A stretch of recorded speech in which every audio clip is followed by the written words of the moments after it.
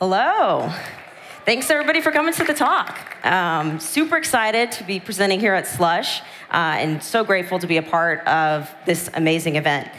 Um, yeah, so a little bit about me. I'm a principal at Founders Fund. I focus primarily on investing in enterprise software companies, uh, and I have a particular interest in developer tooling as well as data and ML applications and infrastructure. So today I'm going to be talking about fostering product driven culture. So, what is product driven culture? Honestly, just kind of wanted to pick a mysterious talk name to get everybody to come. Um, but jokes aside, I'm going to be sharing some tips that I learned uh, through my product management trial by fire at scale. Um, so, uh, you know, this is going to be a bit anchored to my experiences uh, being the first product manager at scale, um, but hopefully can be generalizable to different people's um, you know, experiences with your own companies. Uh, so I started at scale when we were just a few people serving a few customers in a tiny little office. And ultimately, when I left, uh, it was a few hundred people. Uh, the company was worth $7 billion. Um, and we were serving a lot of people that were doing machine learning in production today. Um, so when it comes to product driven culture, there's some commonalities in companies that you might describe as product driven. They're obsessed with their customers, they're obsessed with sort of their own team building, and they're obsessed um, with uh, measuring their own success.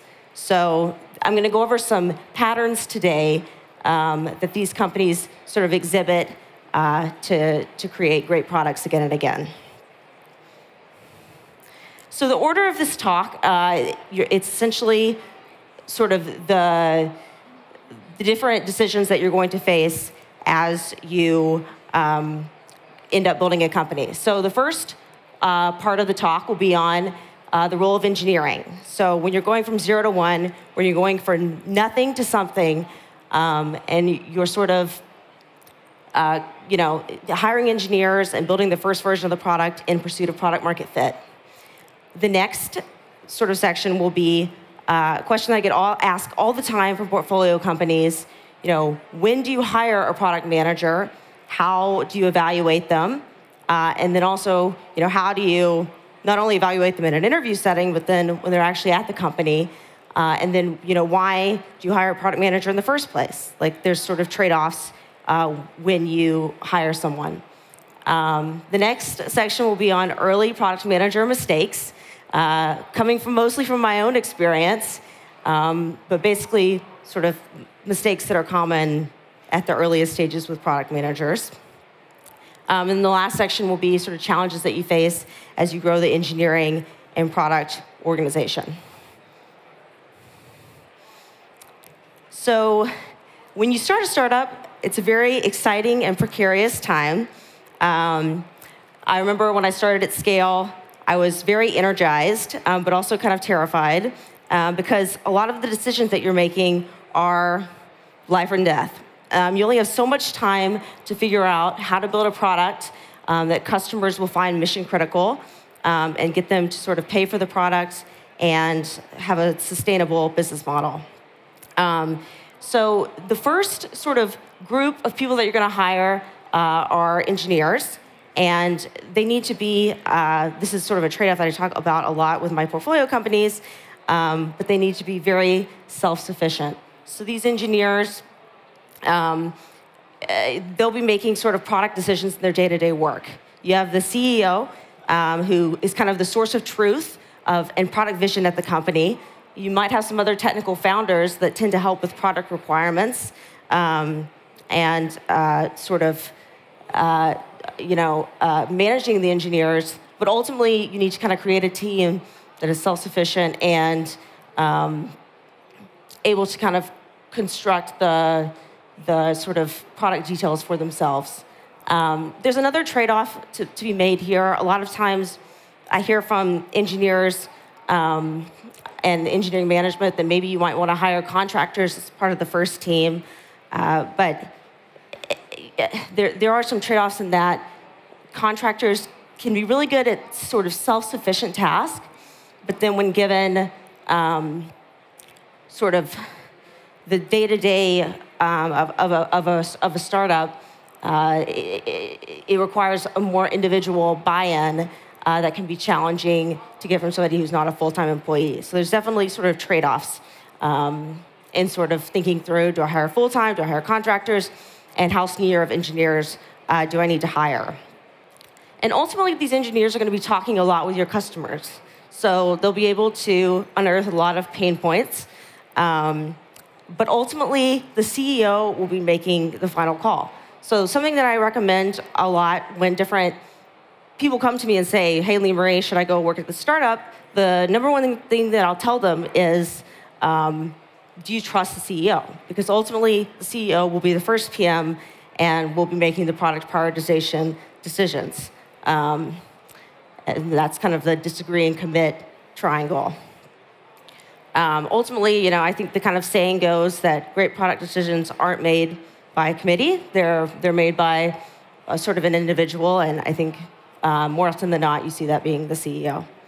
Um, and then a last point that I want to talk about here is I think this is the most important time when it comes to in-person versus remote and the sort of decision around that. So I think at the very earliest stages of a startup, communication is paramount. Communication among the team, and then also communication with the customer. And remote makes that a lot harder. So if you are a remote team, it needs to be for really good reason. So perhaps you know there's a necessary talent reason for you to be remote, which makes sense, but it's going to be sort of a harder process of managing different um, communications. So just a sort of trade-off to keep in mind. Um, but ultimately, uh, you know, either way can work. Um, just sort of something to keep in mind. All right, so I'm going to talk through a case study. I'm also going to get some water. But basically, this is a very famous team who did not have product managers for a really long time. So Stripe actually it was five years before they hired their first PM in title. Um, and before that, of course, they hit product market fit and they were, you know, sort of doing product management, but it was the CEO and the engineers rather than sort of people, product managers in, in name only. Um, so Stripe, yeah, it was past their Series C, past the 50th employee mark.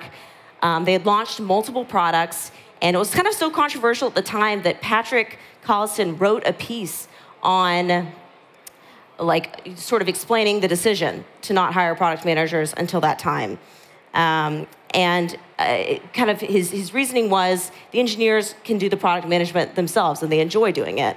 A lot of the engineers um, that joined Stripe very early days, they either were previous founders or they had experience in design in biz ops um, in partnerships, uh, but basically sort of a background to be able and to be happy talking with customers and getting uh, pain points from them. Um, and so ultimately, it was, uh, yeah, quite, quite a while. Uh, and I think there's of some other reasons too. Um, Stripe, it was quite a developer focused product, or I mean, still is. And a fun fact is that actually half of the engineering team of Stripe in the very early days um, used the product as a customer before um, joining. So that was kind of, they actually were the customer in a, in a sense. Um, and then, yeah, let's see. I guess there's some other sort of trade offs um, to illustrate with this example. Um, so there's, there's the trade off here of, you know, when you hire your first PM, you inherently um, sort of there's another step in the communication chain versus when you just have engineers. Um, if you're an engineer and you're talking to customers and you're getting pain points, uh, that you can do that and then you can build. Um, so there's no information that's lost. Once you hire a PM, you inherently introduce a little bit more um, of a step in the communication chain. And um, yeah, it's just something to kind of keep in mind. Um, and then also some engineers, if they're more product minded, enjoy uh, sort of defining product requirements themselves. So let's say you're thinking to yourself, when do you hire a product manager? Um, I think it, it really depends on the stage of your company. Um, if you're pre-product market fit, product market fit, or in the hypergrowth phase. So let's say you're pre-product market fit. Um, in this case, you might not really even need a product manager. But let's say the CEO is too busy to, pro pro to project manage. Let's say you're pulling on multiple product threads and the eng lead or the CTO can only optimize one of them. Or you know, maybe the engineers just are overloaded, can't communicate with the customer as frequently as they would like, um, don't want to share updates as much. Maybe you do want to hire a product manager. However, in this case, it's really kind of a product manager in name only, and it's they're going to their functional day to day is more like a project manager. So essentially, a product project manager to the CEO's vision. They're sort of managing the engineering processes. Maybe they're doing some basic analytics, dashboarding, defining metrics, um, but ultimately they're very focused with execution. Um, so in this case, you know, I think uh, there's a few paths um, in terms of hiring somebody. You can either hire someone more junior. This is something that people talk about a lot. Um, that's, you know, comes in with the understanding they're a project manager. You can transition someone internally, so an engineer perhaps, like me at scale. Um, or you can hire someone more senior and experienced as a product manager, but with the understanding they're currently not doing the traditional pro product role. Um, trade-offs to all of these. Uh, in the former cases, basically you might have somebody who anchors on being sort of this execution project manager, and when the time comes, they are not able to transition into more of a product role or don't really know what that means or how to do it. Um, and in the latter case, if you hire somebody and they try to be a product manager too soon, then they might butt heads with the CEO and sort of slow the team down by having different sort of product visions. Um, I think at the time when the traditional product management skill set becomes really handy is product market fit. So once you fit product market fit, that basically means you have customers that are using your product in a mission critical way um, that are hopefully paying for it. And in a very ideal case, you're able to acquire customers for a lower cost than their long term value, or you have some line of sight to great unit economics. So in this case, the CEO probably has a lot on their plate, the engineering team has a lot on their plate, um, in terms of scaling the product that's working. And there's this risk that a lot of context gets lost. Um, so, a lot of product context and customer context. And what the product manager can do is sort of unify the team through defining the customer personas, the use cases, and then also just the broader business context. Um, and can sort of communicate with everyone, make sure everyone's on the same page, make sure the customer's on the same page, uh, which, is, which is quite important. Um, and in this case, um, you might uh, have, have uh, I think the, the easiest way to think about it is there's sort of four risk to product building. You have the value risk, so will people buy your product? You have the viability risk. Does this sort of product work as a, as a business? So, for example, like compliance and things like that. You have feasibility, which is can the team build the product, and then usability, um, which is can the customer use the product? And this sort of is sort of the framework given by Silicon Valley Product Group. Product managers, value and viability are the two risks on their minds. Design is usability, and then engineering is feasibility. So that's, I think, kind of the easiest way to think about what the product manager is going to be doing um, at that stage. Um, so ultimately, the product manager is going to be talking with leadership, talking with customers, talking with cross-functional teams, getting all those ideas together, um, and then sort of focusing on product or like pro like problem themes, um, and then sort of working with engineering, product, and design or EPD um, to define sort of a very fine-grained roadmap of engineering task. Um, and then sort of the next uh, question on your mind might be, well, how do you find this person that, that's going to do all these great things once we've hit product market fit? And uh, I think there's a few different options that you have. So one, you promote somebody internally, or two, you find someone externally. Um, both can work, and I've seen both work really well. Um, I think in both cases, the important things to really think about are can this person handle uncertainty? And does this person have agency to affect change? So that's more of a personality type than like a particular company structure. Um, and at scale, we actually called this running through walls and having a bias to action um, as like a sort of culture value.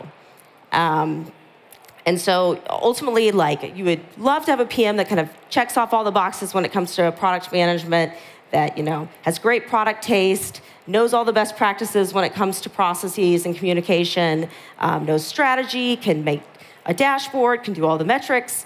Um, but in practice, what you're probably going to find is you want to hire a person that can spike in one or more of those areas and then learn how to do the rest. Um, so you really want sort of an empathetic learner um, that is going to have the curiosity and drive to become a world class expert in a particular domain, which is what you really want out of a product manager. Um, and then sort of the last stage here is growth when you have like a core product that's working really well, and then you're starting to think about product expansion. Um, and at this point, you're probably going to hire multiple product managers. A sort of good heuristic here is one to 10, so one product manager to every 10 engineers. If you have a more technical product, um, you're probably going to want more project managers versus product managers because the engineers have a lot more say in the product roadmap. Um, but ultimately, you know, eh, you start as you start to specialize your teams, then you're going to start to specialize um, your product your product manager. So maybe you have somebody from a business background, um, from a growth background, from technical background, design background, and they sort of work with more specialized teams. Hopefully, they complement each other and are able to sort of um, educate each other. Uh, and then the other part here is you might also start to think about hiring uh, leadership PMs, so people that are managing PMs. Um, and I think the main benefit here is that CEOs and founders are really good at thinking about short term and really good at thinking about the very long vision. Um, and then these sort of PM leaders are really good at filling in the medium term, so a quarter to you know a few years ahead. Uh, case study here, uh, my experience at Scale. So uh, I joined Scale was one of the first engineers, and then transitioned over into a product management role. When I joined Scale, like I already knew that I wanted to, to be a product manager. I had done an internship, and sort of the, the role really resonated with me. Um, but when I joined Scale, it was sub 10 people, so they didn't need a product manager, as we kind of talked about in the slides before. Um, so ultimately, I joined as an engineer. Uh, I started taking on more product responsibilities as the company grew. So started project managing, sort of helping with the Scrum board. Um, and then as you know, sort of the business started to take off, there was a clear opening for me to talk to customers, to learn more about the autonomous vehicle industry, analyze competitors' products, um, you know, start to work with the sales and support teams and support them, and sort of uh, make sure that their requests were getting done by engineering, things like that. Uh, and then as Scale hit product market fit in the image annotation product, and it became clear that LiDAR 3D annotation was sort of the next product. It made sense, given the product surface area, for me to um, become the product manager of one of those products. Um, so uh, essentially, like, uh, you know, it took me maybe two years after I started um, to go from engineer to PM fully.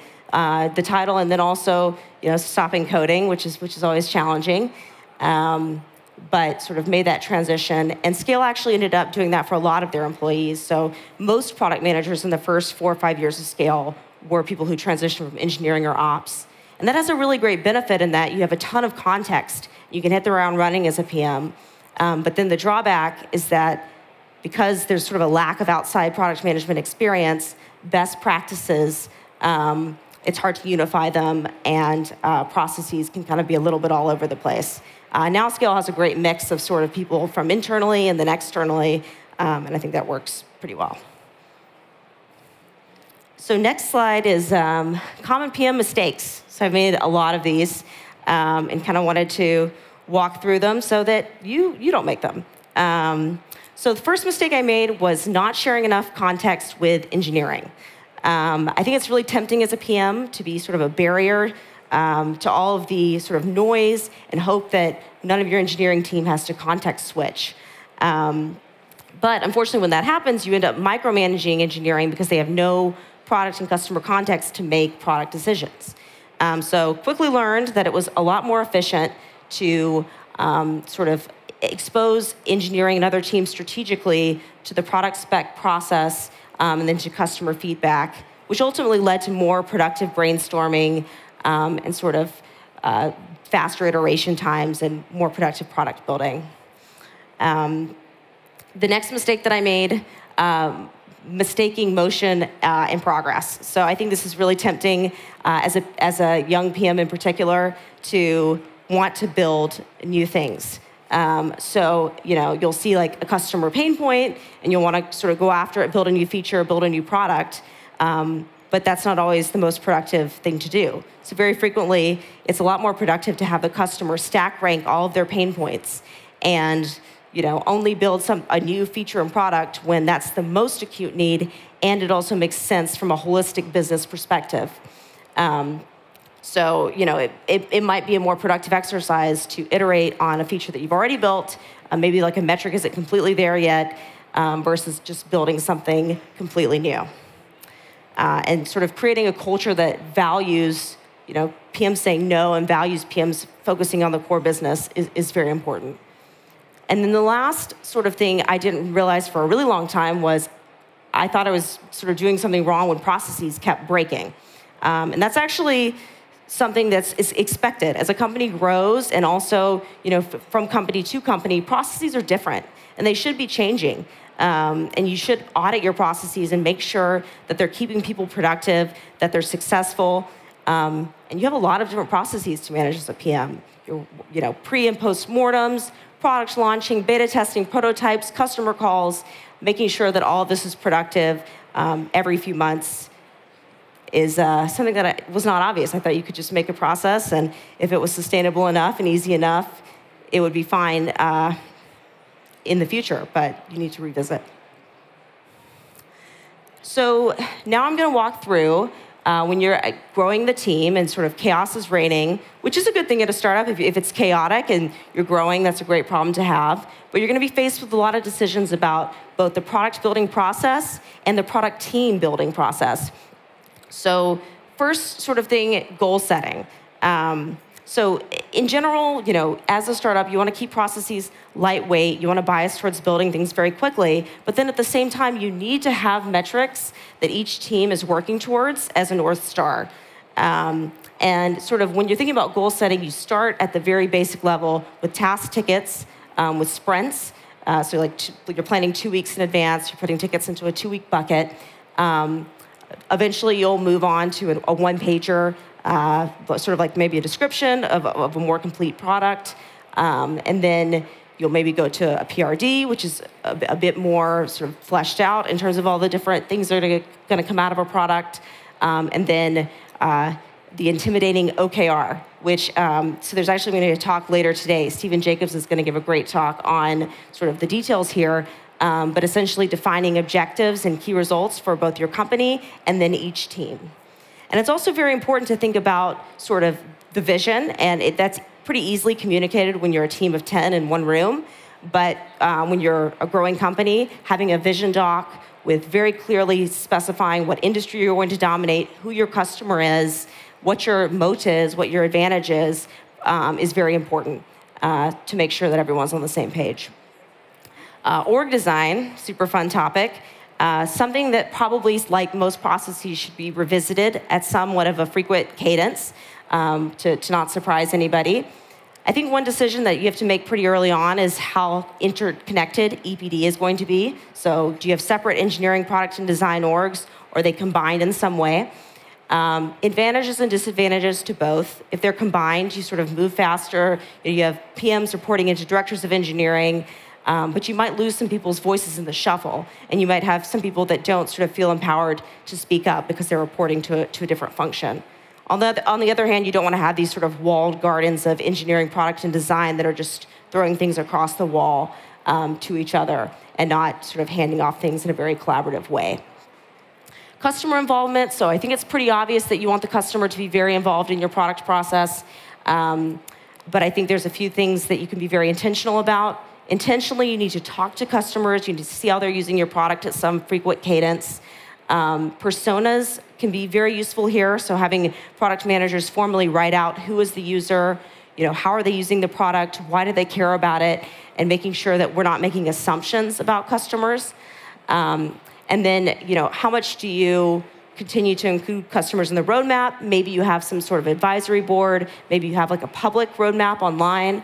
Uh, but there needs to be sort of an understanding that you know every request won't get done, and that you know ultimately it is a product decision, sort of how much to go with exactly what your customers say.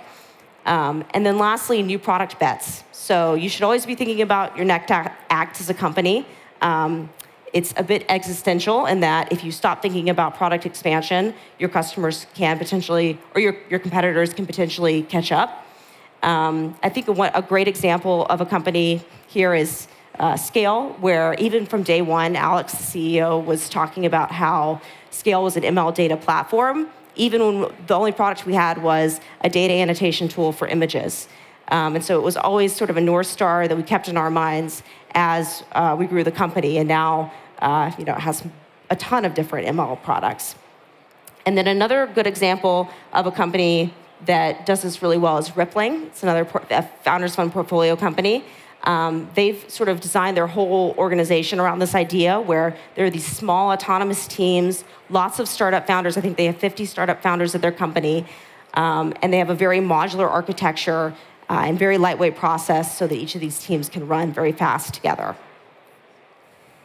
So took a lot from different product leaders uh, in this talk and highly recommend that you check out their material, um, whether it's podcast or Twitter or whatever. And yeah, really do appreciate your time. Hope you learned a, a few tactical things and would love to talk more afterwards.